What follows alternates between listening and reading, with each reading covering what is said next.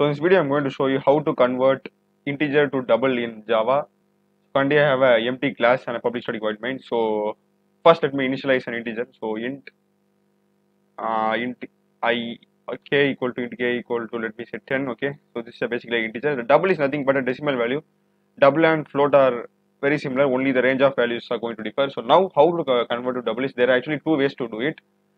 I will do one by one. So one way is by initialize converting into double by using the double dot value of function. So it's going to be double d o u b l e d equal to so not don't confuse double d. So I'm initializing a variable double and d equal to double dot and here you can get value of this is what we are going to use here and value of I'm going to put it as k okay?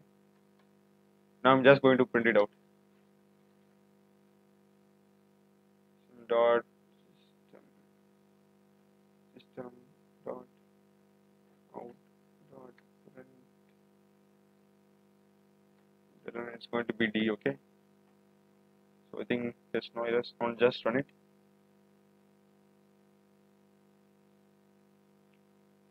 we need to get the output 10.0 instead of only 10. So as you can see, I'm getting the output as 10.0, which means that this code has been converted successfully from integer to double. So another method is also the same way. Just change here. Uh, just put new double and pass the value integer value k. So